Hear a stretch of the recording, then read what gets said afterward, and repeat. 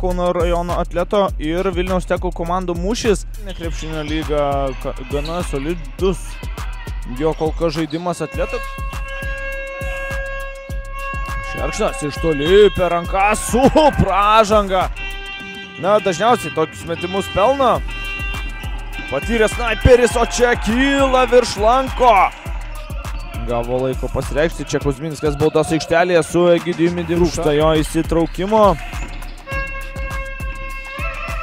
Vis dar be taškų. Kalbant apie rezultatyviausius žaidėjus, Egidijus Dimša ir Tautvidas Baltrušaitis savo komandoje. Tik Tautvidą Baltrušaitį tikrai matėme šiandieną žibantį, dabar jo tolimas metimas, dar vienas. Jo tikrai atakuoti Balčiūnas. Na, įdomus sprendimas laukti Brusoko kuris ten kovoja, ko krepšininkai nuo to laiko daugiau ir nematėme jų priekyje. Čia stogą gauna. Viena Babkauskas, vieną tolimo metimą pataikė. Balčiūnas e, pakeitė Egidijų Dimšo, čia Tautvidas Baltrušaitis. Šukelis gauna stogą nuo Balčiūno. Prie kamulio.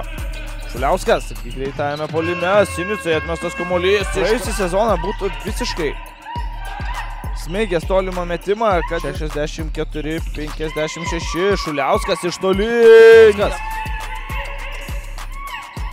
Iš toli Baltrušaitis, na ar bus šeštas? Buvo šeštas. Uh, ieško čia Justos Sinisas, dar kartą Šuliauskai iš toli.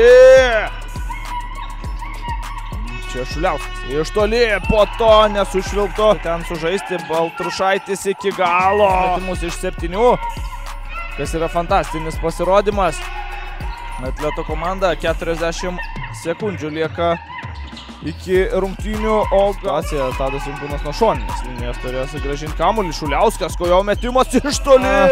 Įdomu, ką rinksi Šuliauskas, ar tolimo metimo atlikinė Šesinica iš toli netiksliai ir viskas. O, atleto komanda išvykoje atsirevanšavo varžovams iš Vilniaus.